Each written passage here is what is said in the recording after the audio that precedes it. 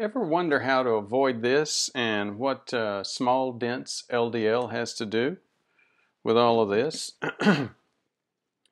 We've talked a few times. This is a uh, the media layer of an artery. This is the intima layer. And this is all small dense LDL that has gone through cracks in that intima layer and stopped, getting stuck between the intima and media. This is what causes a heart attack our, or a stroke. Our uh, body, we take friendly fire. Our body creates inflammation here. If this leaks out and touches the bloodstream, it causes a clot. But let's go back. We're going to talk about L, small dense LDLs today. uh, before we do, just a brief introduction. Uh, my name is Ford Brewer, uh, Dr. Brewer. Graduated and ran the program in uh, preventive medicine at Johns Hopkins, um, and have continued to do preventive medicine for three decades since then. Uh, today we're going to talk about uh, small dense LDLs. Um, here's one of the first uh, things to look at and think about. This is uh, this is a schematic, and it's really looking more at a um, metabolic profile what you might say. This is the liver, and it's talking about the liver making what's called VLDLs, very low density lipoproteins. As you go around this circle, you get lower, uh, you, you get smaller particles and higher density. So here you get low density, you, uh, you have intermediate in between, and then down here you have high density. One thing that I'm struggling to show you on here is that it's not just a circle. There are crossovers where high density lipoprotein can pick up a lot of cholesterol from these others and become a, a, more of a medium density or take that um, take that cholesterol back to the liver or other places to be metabolized. Now, there is a little bit of difference in terms of that last point about HDL uh, being converted. It's not actually converted.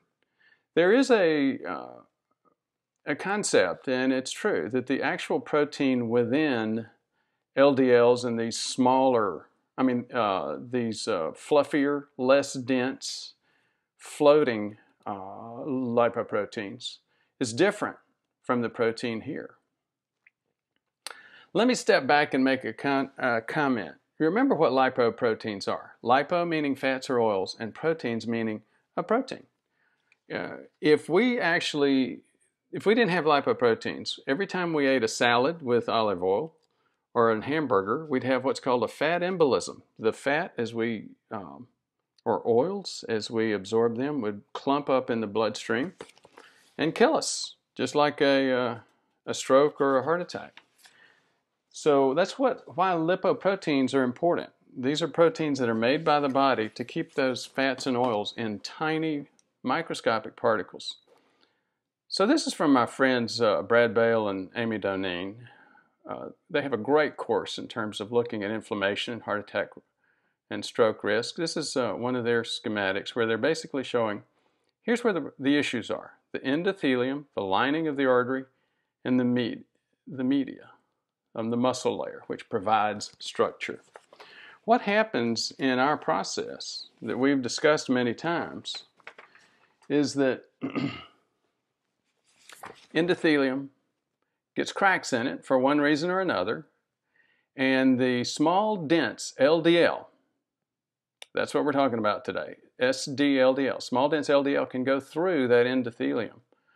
Uh, usually it'll pass on through the media layer, but when you get inflammation, it, get, it stops. Things called proteoglycans hang down like um, like barbs in a chicken wire fence and the small dense LDL can't pass through anymore so they get stuck right here between these two layers.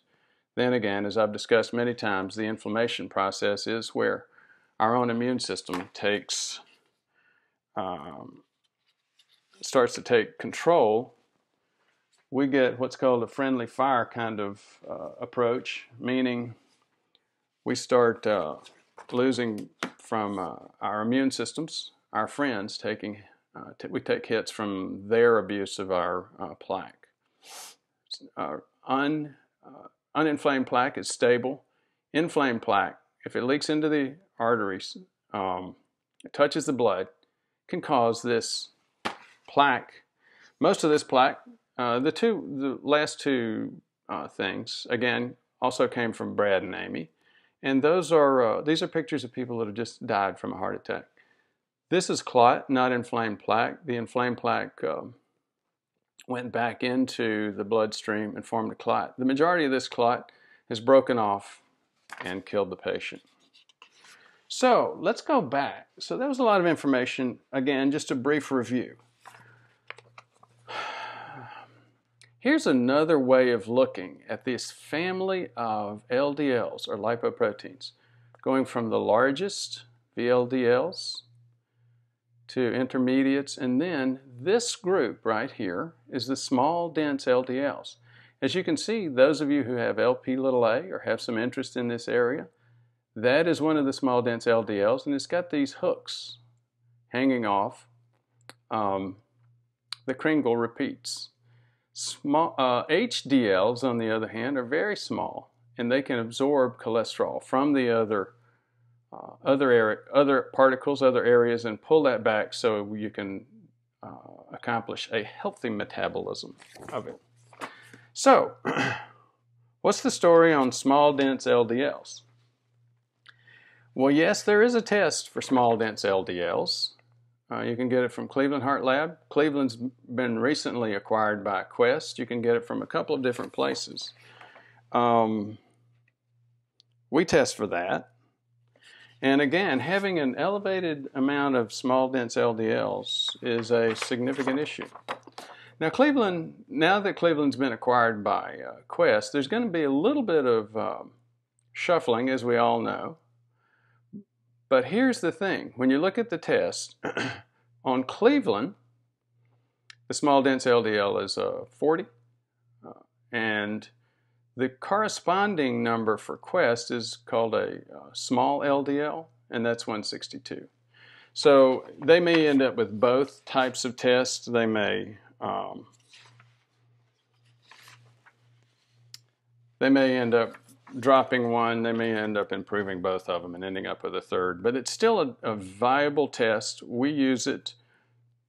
What do you do if you have um, numbers that are higher? Well, the one thing that's been shown to improve small, dense LDL is uh, niacin. In addition, the other things that we all know help our lipoprotein status and our cholesterol status in our blood is to manage things like insulin resistance, exercise, and what's the biggest item that I don't have on here? Diet. Thank you for your attention.